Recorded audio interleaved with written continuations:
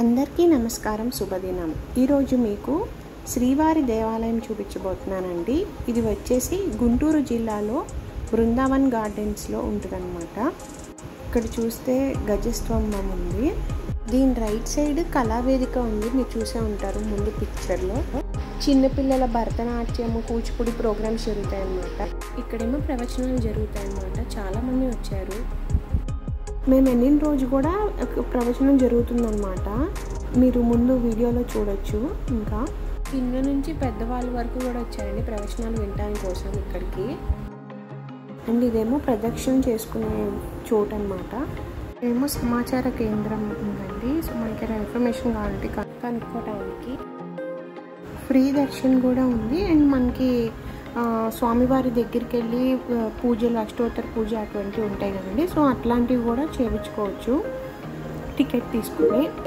Lightings అన్నీ బాగా పెట్టారండి. అండ్ నీట్గా కూడా మెయింటైన్ చేస్తున్నారు టెంపుల్. చాలా బాగుంది. చాలా పీస్ఫుల్గా ఉంది ఫస్ట్. మేము వెళ్ళిన రోజు గురు సంహిత దత్త ప్రవచనాలు జరుగుతాయి. అనేది సంస్కృతి సాంప్రదాయాలను ప్రతిబంధిస్తూ గురువు గారి అనుగ్రహం ఉంటే ఏదైనా సాధించవచ్చు. అని అని పులిగా తీసుకున్నామండి మేము ప్రసాదంగా. లడ్డు కూడా ఉంటుంది ఇక్కడే. అండ్ ఆర్కిటెక్చర్ అయితే మీరు చూడొచ్చు అసలు చాలా బాగుంది. మీకు వీలైతే తప్పక విజిట్ చేయండి ఇక్కడికి. ఇది చాలా మహిమగల టెంపుల్ అని కూడా విన్నాను నేను. ప్రహరీ గోడ చూశారు కదండి వైకుంఠానికి దారిలా ఉంది. లోపలున్న శ్రీవారి ఆశీస్సులతో అందరూ హ్యాపీగా ఉండాలని కోరుకుంటూ ఈ వీడియో కనుక మీకు నచ్చినట్లయితే లైక్ చేసి షేర్ చేసి సబ్స్క్రైబ్ చేయండి. Thank you for watching